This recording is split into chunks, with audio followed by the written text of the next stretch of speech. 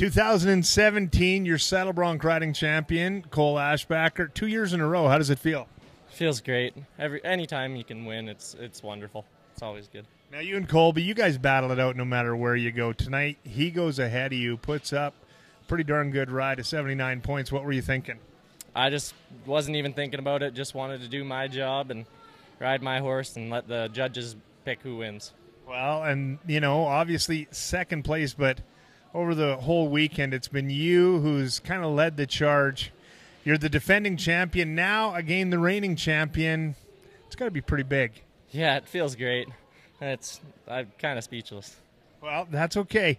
Kole Ashbacher, your 2017 CCFR Saddle Bronc Riding Champion.